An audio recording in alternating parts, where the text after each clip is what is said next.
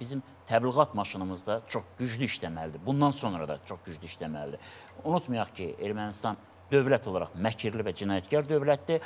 Ona görə hər zaman onun cavabını verməyə, cavabını verməyə hazır olmalı deyilik. Biz Biz, elə eləməliyik ki, o bizə cavab verməyə cəhd eləsin. Baxın, illər ərzində Ermənistan məkri e, mədəniyyətə də, təbliğata da, bütün sahələrdə hopduğu üçün Avropalılara elə gəlir ki, biz onları qırmışıq və yaxud da qırırıq və s. Biz o sahədə də hər bir sahədə olduğu kimi, hərbi sahədə olduğu kimi, xarici siyasətdə olduğu kimi də təbliğatda çox güclü, güclü işlər görməliyik. Biz e, onu sübut eləməli deyilik ki, biz haqlıyıq. Biz haqlı olduğumuzu onların beyinlərinə yedirtməliyik. Bax bu məsələdə əlbəttə ki, Əsgər süngüləri ilə. Sözsüz, əskər süngüləri də öndə də, amma bizim böyük mədəniyyətimiz, tariximiz var və bu da Biz də silahımıza çevrilməlidir. Mən çox üzr istəyirəm, Hə, verilişin buyurun, sonudur. Amma mövzumuzu yenə davam elətdirəcəyik və sizi mütləq dəvət eləyəcəyik, çünki bu məsələlər geniş məsələlərdir. Biz artıq qələbə ruhu ilə yaşayırıq və biz görürük bu qələbəni. Görürsünüz, biz burada artıq qələbənin özünü yox, qələbədən sonrakı addımlarımızı müzakirə etməliyik. Bax, həmişə bir addım öndə olmalıyıq.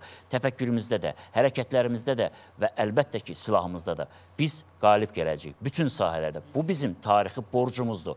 Biz bundan sonraki nəslə məğlub ölkə, məğlub Azərbaycan bəxş etməyə heç bir haqqımız yoxdur. Bu məsələdə Azərbaycan əskəri, Azərbaycan Ali Baş Komandanı, Azərbaycan xalqı həmrəydir və biz bu həmrəyliklə qələbəni yaxınlaşdırırıq.